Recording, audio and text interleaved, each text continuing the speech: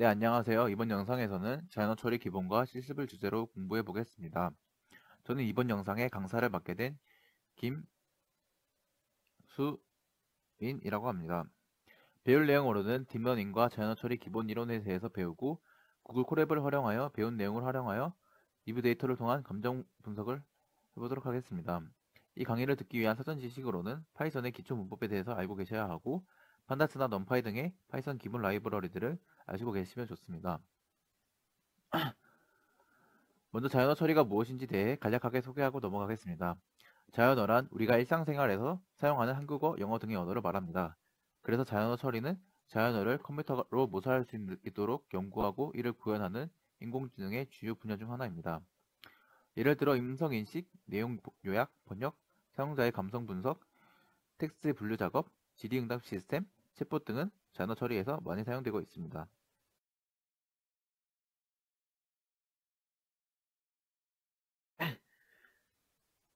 그중 저희는 감정 분석 구현을 통해 자연어 처리 실습을 해보도록 하겠습니다. 이 사진은 이러한 텍스트들에 대해서 감정 분석을 실시한 결과입니다. 어, 이러한 텍스트들에 대해서 확률적으로 긍정 리뷰인지 부정 리뷰인지를 어, 판단해주는 프로그램입니다. 배울 내용에 대해서 간략하게 알아보겠습니다. 머신러닝이란 무엇인지에 대해서 소개를 하고 이제 딥러닝에 대한 개요와 딥러닝 모델 중 RNN과 LSTM에 대한 모델을 알아보겠습니다. 그 이후 이제 배운 내용을 가지고 Google Colab을 통해 실습을 하며 이 강의를 마치도록 하겠습니다. 일단 머신러닝이란 먼저 머신러닝이란 무엇인지 알려드리겠습니다. 머신러닝이란 주어진 문제에 대해 명시적으로 프로그래밍 하는 것이 아니라 컴퓨터가 데이터를 통해 스스로 학습할 수 있도록 알고리즘을 짜는 것입니다. 그래서 컴퓨터가 이제 학습을 통해 점점 똑똑해지는 것이 머신러닝 알고리즘입니다. 예를 들어 bubble sort, merge sort와 같은 알고리즘은 그 sorting 문제에 대해서 명시적으로 프로그래밍을 하는 프로그래밍을 하는 알고리즘이고 KNN, KNN 의사결정 트리와 같은 알고리즘은 데이터를 통해 기계가 학습하기 때문에 머신러닝 알고리즘입니다. 그래서 머신러닝 머신러닝은 인공지능의 한 분야에 속합니다. 또한 딥러닝은 이러한 머신러닝의 한 분야에 속합니다. 딥러닝은 사람 의 신경세포 뉴런과 닮은 perceptron이라는 것을 정의합니다. 인공적인 신경망을 구축하여 컴퓨터가 학습을 통해 스스로 똑똑할 수 있도록 합니다. 그럼 perceptron에 대해서 알아보겠습니다. perceptron은 쉽게 말해서 인풋과 아웃풋이 있는 함수와 같이 생각하시면 될 것 같습니다.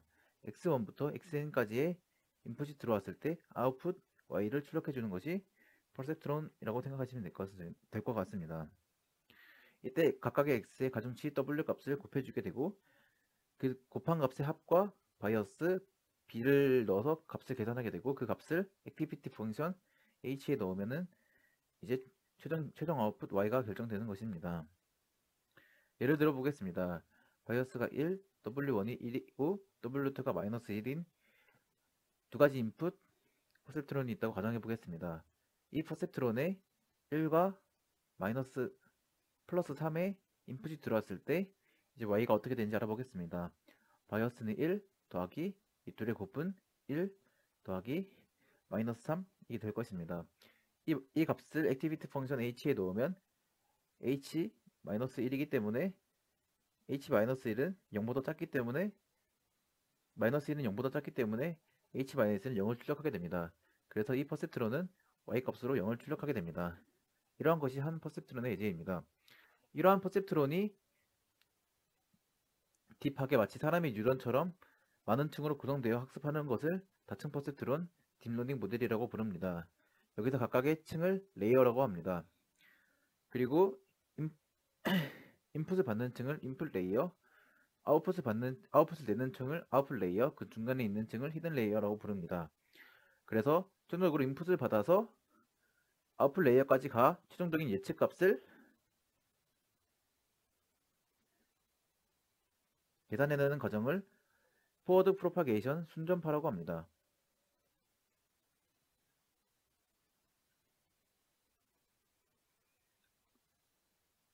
딥러닝에서 인풋 layer에서 인풋을 받아 hidden layer를 거치고 아웃풋, 아웃풋 layer까지 가는 순전파를 알아보았습니다.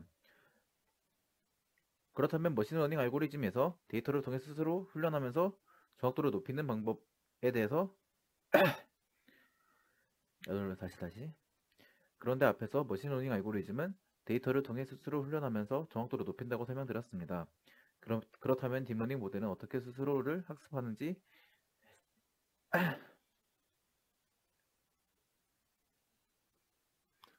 그런데 앞에서 머신러닝 알고리즘은 데이터를 통해 스스로를 훈련하면서 정확도를 높인다고 설명드렸습니다.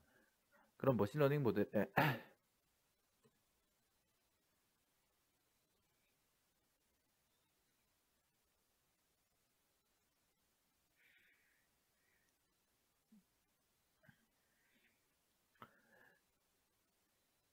지금까지 deep learning 모델이 인풋을 받아 아웃풋을 출력하는 결- 과정을 보았습니다. 그런데 앞에서 machine learning 알고리즘은 데이터를 통해 스스로 훈련하면서 정확도를 높인다고 설명드렸습니다. 그럼 deep learning 모델은 어떻게 스스로 학습을 할까요? deep learning 모델을 순, 훈련해야 할 때 순전파 forward propagation을 거치게 됩니다. 이 순전파 그 과정을 거치면은 예측값을 알 수 있게 됩니다. 그리고 저희는 이 예측값과 실제값을 통해 비교를 할 수 있습니다. 이때 이 비교를 할 때 그 차이를 정하는 함수를 loss function 손실 함수라고 부릅니다. loss function에서는 대표적으로 mean square error, 평균 제곱 의 합, MSE와 같은 것들이 있고 cross entropy error라는 것도 있습니다. 이렇게 이러한 loss function으로 실제값과 예측값의 차이를 알게 된다면 이 차이를 통해 이 가중치 W 값을 보정해 나갈 수 있습니다. 그래서 이 차이를 계산을 하고 가중치 W 값을 점점 보정을 하고 보정을 하고 해서 최종적으로 끝까지 보정하는 과정을 backpropagation 역전파라고 부릅니다.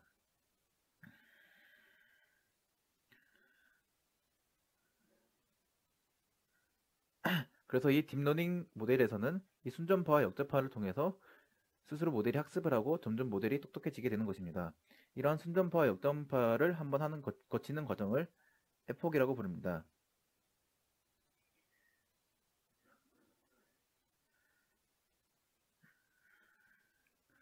다음에 그래프를 보시면 초기 가중치 값이 있을 때 한 epoch을 수행해 나갈 때마다 점점 가중치 값이 수정되는 것을 볼 수 있습니다. 그래서 최적의 가중치, 정답 label을, 정답 label을 예측하게 되는 최적의 가중치까지 점점 가까워지는 것을 볼 수 있습니다. deep learning 모델은 위와 같은 방식으로 random한 초기 가중치 W에서 시작하여 epoch을 거치면서 가중치 W 값을 조절해 나가면서 스스로 학습을 하는 모델입니다. 다음 RNN에 대해서 알아보겠습니다. Recurrent Neural Network, 즉 RNN은 입력과 출력을 시퀀스 단위로 처리하는 시퀀스한 deep learning 모델입니다. 때문에 순서가 있는 데이터, 데이터들의 처리에 유리합니다. 그림을 보시면은 화살표가 자기 자, 신으로 들어가는 것을 볼 수 있습니다. 이러한 것을 풀어서 보면 이전 시퀀스의 결과가 다음 시퀀스의 인풋으로 들어가는 것을 볼 수 있습니다. 이러한 구조로 RNN은 순서가 있는 시퀀스한 데이터 처리에 유리한 모델이며 때문에 자연어 처리의 기본 모델로 사용합니다. 보시면은 x1에서 들어간 데이터가 x1을 통해 y1을 출력하게 되고 이 y1과 x2를 들어가 y2가 출력되게 되고 이런 과정이 반복되어서 이전에 있는 시퀀스의 데이터가 이제 다음 시퀀스의 인풋으로 들어가게 되는 것을 볼 수 있습니다. 하지만 이런 RNN도 한계가 있습니다. 이러한 RNN은 비교적 짧은 시퀀스에 대해서만 효과를 보이는 단점이 있습니다. 시퀀스가 길어질수록 앞에 있는 X1에 대한 정보가 YT까지 전, 잘 전달되지 못하는 특징이 있습니다. 위 그림은 첫 번째 입력 가신 S왕의 정보를 얕아지는 것을 색깔의 희미함으로 나타내는 그림입니다.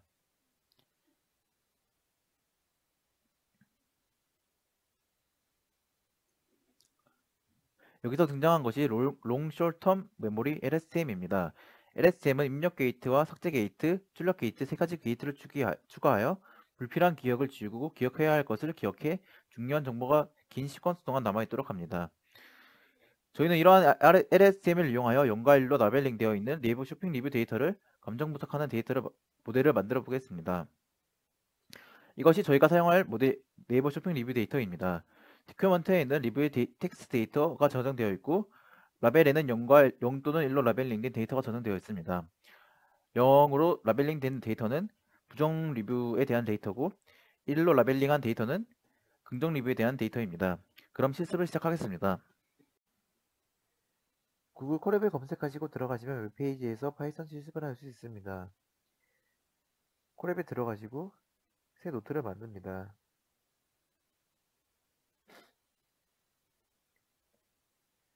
저희는 여기서 네이버 영화 리뷰 데이터를 다운받아 감정 분석이 되는 deep learning 모델을 만들어 보겠습니다.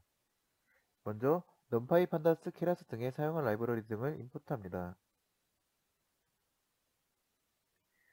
그리고 네이버 영화 리뷰 데이터를 다운받고 Pandas 라이브러리를 통해 train 데이터와 테스트 데이터에 넣습니다.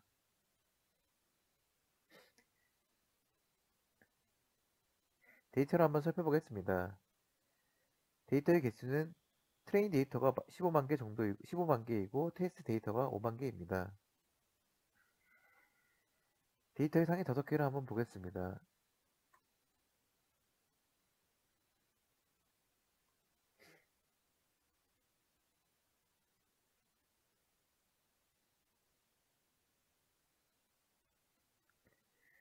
상위 5개를 보시면은 document 열에는 리뷰의 텍스트 데이터가 있고 라벨 열에는 0과 1로 labeling된 라벨 데이터가 있습니다. 저희는 이 두 열의 데이터를 이용하여 감정 분석을 실습할 것입니다. 감정 분석 실습을 위하여서는 이러한 데이터를 바로 deep learning 모델에 넣을 수 없습니다. 여러 가지 전처리 과정이 필요합니다. 이러한 전처리 과정에는 중복 제거, 멸과 제거 등을 통해 데이터를 정제하는 과정이 있고 LSTM과 같은 deep learning 모델이 이해하기 위해 시퀀스한 데이터로 만드는 토큰화 과정이 있습니다. 이러한 토큰화 과정을 진행하고 indexing까지 하면은 모델이 이해할 수 있는 데이터, 가 됩니다. 먼저 중복된 데이터를 한번 확인해 보도록 하겠습니다.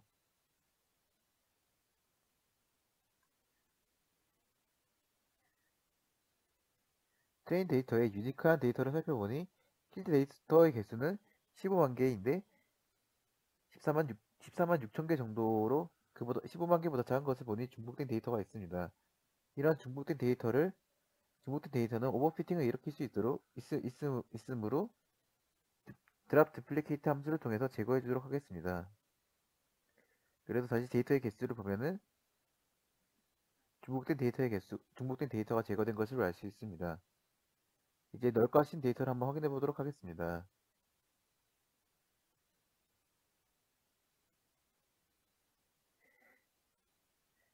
train 데이터에 isnull 함수를 통해 null 값이 함수를 null 값인 데이터가 있는지 보니 true로 나왔습니다. 그래서 null 값인 데이터가 있다는 뜻이므로 dropna 함수를 통해서 null 값이 제거해 주도록 하겠습니다. 네, 제거가 되었습니다. 다시 한번 isnull 함수를 실행시켜 보니 false로 뜨는 것을 알 수 있습니다. 이처럼 중복된 데이터와 null 값인 데이터를 제거해 보았습니다. 하지만 저희는 한국어로 된 NLP 모델을 만들기 때문에 한국어가 아닌 이러한 점점점과 같은 데이터에 대해서 학습을 할 수 없습니다. 그래서 이러한 특수문자와 한국어와 공백을 제거한 데이터를 전부 제거해 주겠습니다.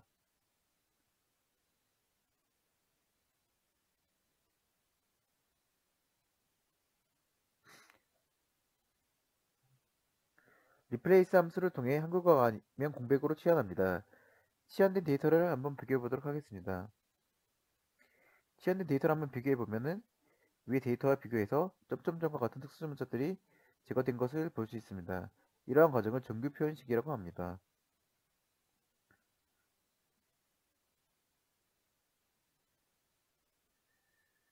하지만 저희는 한국어가 아닌 데이터를 다 제거했으므로 제거한 후에 다시 null 값이 생길 수가 있습니다.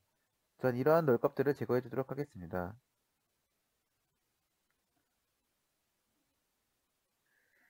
네, 그래서 최종적으로 전처리 후에 train 데이터의 개수가 C3의 5700개 정도로 나타난 것을 볼 수 있습니다. 이러한 과정을 테스트 데이터에도 마찬가지로 해주어야 합니다. 그래서 전처리된 테스트 케이스의 개수는 48,900개 정도로 나타나는 것을 볼 수 있습니다. 여기까지 데이터를 정제를 해보았습니다. 하지만 저희는 이러한 데이터의 정제뿐만 아니라 토큰화하는 과정이 필요합니다. 저희는 토큰화를 형태서별로 하기 때문에 한국어 형태서 토큰화 관리를 하는 coNLPI라는 라이브러리를 인설트 해주도록 하겠습니다. PIP 명령을 통해서 인설트를 합니다.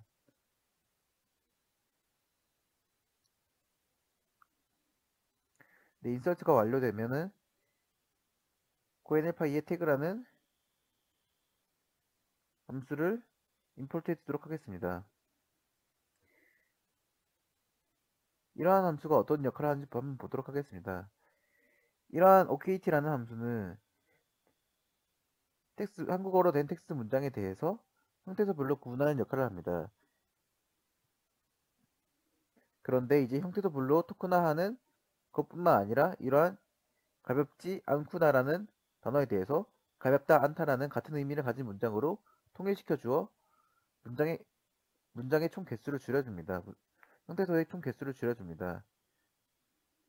저희는 이러한 OKT 라이브러리를 통해서 한국어를 형태소별로 토큰화 해보도록 하겠습니다.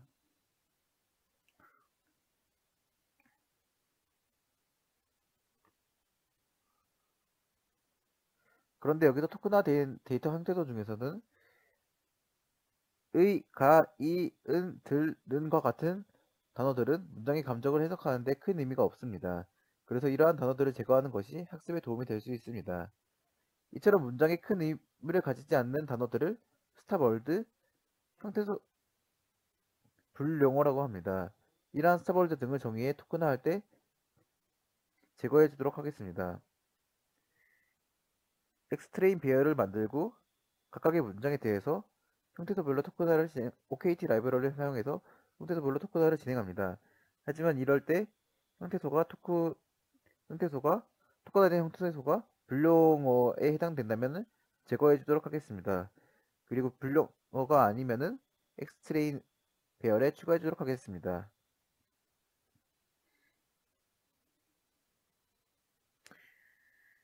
테스트 데이터도 마찬가지로 같이 합니다. 이 작업은 시간이 꽤 걸릴 것입니다. 작업을 마친 후 데이터를 한번 보도록 하겠습니다.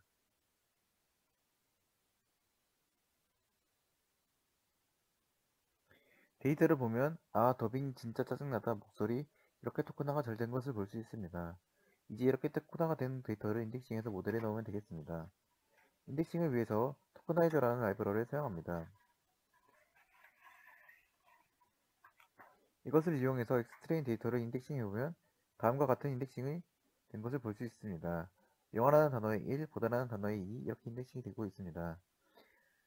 또 단어의 수가 4만, 4만 개 이상 나오는 것을 알 수 있습니다. 그런데 train 데이터에 특정 단어가 몇 번 들어가지 않는다면 그것을 훈련시키더라도 학습이 잘 안 될 것입니다. 때문에 단어 집합의 수를 줄이기 위해 두 번 이상 등장하지 않는 단어를 제거해 보도록 하겠습니다. 먼저 총 단어의 수와 두 번 이상 등장하지 않는 단어의 수를 세보도록 하겠습니다.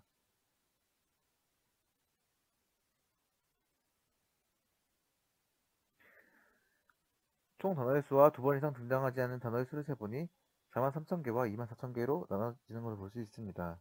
그래서 저희가 사용할 단어의 수를 이 두 가지 값을 뺀 크기만큼 저희가 단어를 사용해 보도록 하겠습니다. 그래서 vocab size를 정의를 하고 이 사이즈만큼 tokenizer에 넣어주도록 하겠습니다.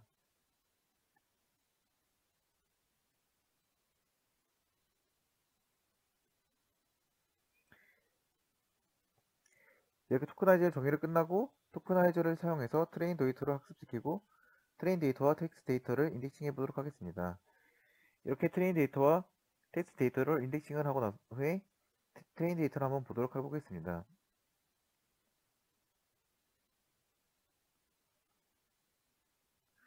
다시 train 데이터를 출력해 보면은 위와 같은 아 더빙 진짜 짜증나다 목소리 이런 이러한 단어의 집합이 정수로 된 집합으로 나타나는 것을 볼 수 있습니다.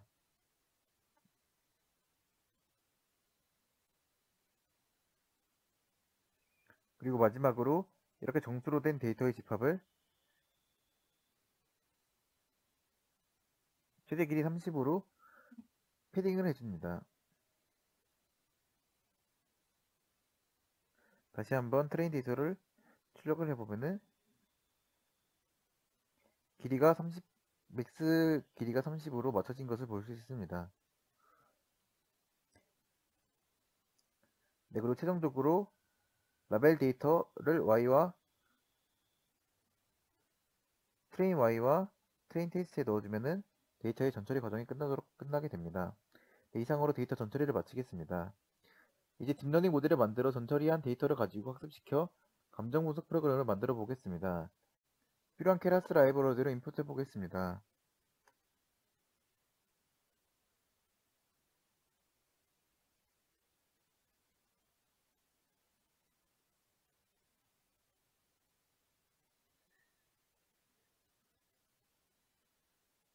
모델이 import가 완료된다면 모델의 sequence한 모델로 만들어 주겠습니다. sequence한 모델로 만들고 단어의 의미를 사이즈 100인 배열로 나타내는 embedding layer를 추가합니다. 그리고 hidden state가 128인 LSTM layer를 추가합니다. 그래서 마지막 전결합층 dense를 activity function을 sigmoid로 추가하여 아웃풋을 출력하게 합니다. 이렇게 모델을 만들었습니다. 이 모델을 해석해 보자면 저희가 앞에서 전처리한 데이터에 단어의 집합이 들어왔을 때 embedding layer에서 단어 각각의 단어의 의미를 사이즈 100인 배열로 나타내게 되고 이렇게 나타낸 단어의 의미들을 LSTM layer로 보냅니다. 그리고 LSTM 레이어는 시퀀스한 단어들의 집합에서 문장의 의미를 128의 사이즈의 배열로 나타내게 됩니다. 그래서 이렇게 128 사이즈의 배열로 문장의 의미를 recurrence하게 나타나게 된다면은 dense layer에서 이러한 배열의 사이즈를 하나로 모아 예측값을 출력해주는 모델입니다. 이 예측값을 라벨 데이터와 비교를 해 backpropagation을 하면서 학습을 하게 됩니다. 그럼 이 모델을 학습시켜 보도록 하겠습니다.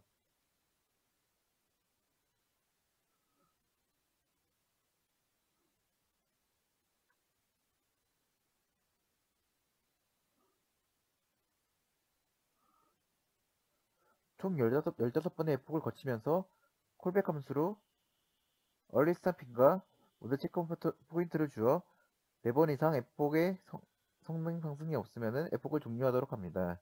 그리고 가장 성능이 좋은 베스트 모델을 베스트 모델에 저장하도록 합니다. 학습을 시작해 보도록 하겠습니다.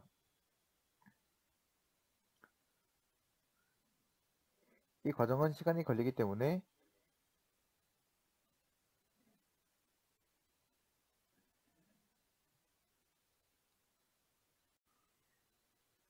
예전은 총 7번의 epoch을 거치고 early stopping 함수가 호출되었습니다.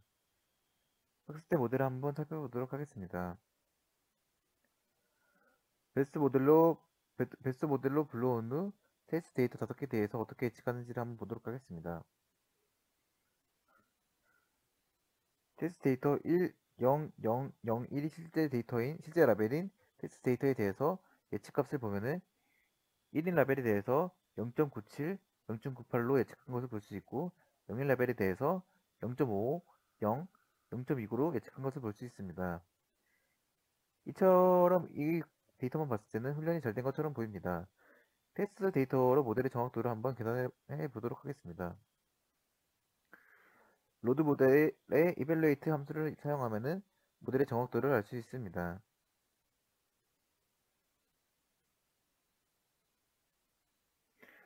정확도를 보시면 0.85 정도로 나오는 걸 볼 수 있습니다. 전체 정확도를 종합해서 정확하게 계산하면은 0.8563 정도가 나옵니다. 모델이 잘 만들어진 것 같습니다. 자 그럼 이런 모델을 가지고 감정 분석하는 함수를 만들어 보도록 하겠습니다. 이 함수는 string 형태의 new sentence를 받으면은 usentence를 파라미터로 받으면은 앞에서 한 텍스트 전처리 과정 OKT 라이브러리로 형태소별로 token화를 하고 stopword를 제거를 하고 tokenize 함수를 이용해서 정수로 encoding을 하고 padding을 하면은 이제 padding을 한 후에 그러한 padding된 데이터를 predict 함수에 넣으면은 예측값이 나오도록 나오게 됩니다. 이러한 예측값을 float 형태로 출력하 프린 출력하는 함수가 이 함수가 되겠습니다.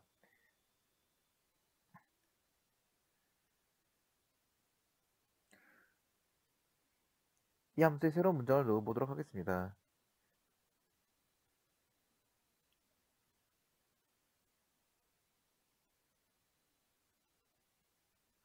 진짜 재미없고 최악이다라는 문장에 대해서 99.83% 확률로 부정 리뷰로 잘 예측하는 것을 볼 수 있습니다.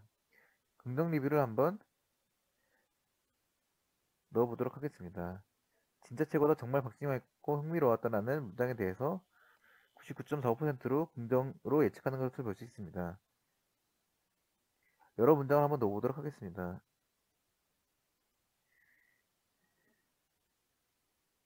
정말 기분이 좋네요 라는 문장에 대해서 94%의 확률로 긍정 리뷰로 진짜 재미없고 최악이다 라는 문장에 대해서 99%의 확률로 부정으로 예측하는 것을 볼 수 있습니다.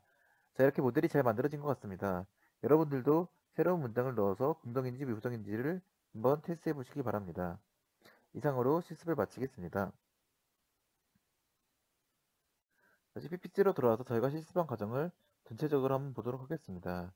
저희는 네이버 쇼핑 리뷰 데이터를 다운받아서 다음과 같은 텍스트 전처리를 통해서 데이터 정리를 해주었습니다. 그리고 저희는 모델을 sequence한 모델로 만들어서 embedding layer를 넣고 LSTM layer를 추가하고 dense layer를 추가해서 정제한 데이터를 가지고 이러한 모델을 학습시켰습니다. 그리고 저는, 저희는 sAnalysis라는 함수를 만들어서 새로운 텍스트 문장이 들어오면은 전처리 과정을 거치고 모델의 predict 함수를 통해서 예측값을 출력해서 이렇게 몇, 긍정인지 부정인지에 대한 확률값을 계산하는 프로그램을 만들었습니다. 나름 재밌는 프로그램을 만드는 실습하고 싶어서 감정 분석 실습을 하게 되었는데 딥러닝을 처음 체험 배우게 되는 분들도 재밌고 흥미로웠던 시간이었으면 좋겠습니다. 제가 준비한 강의 영상은 여기까지입니다. 이상으로 영상을 마치겠습니다.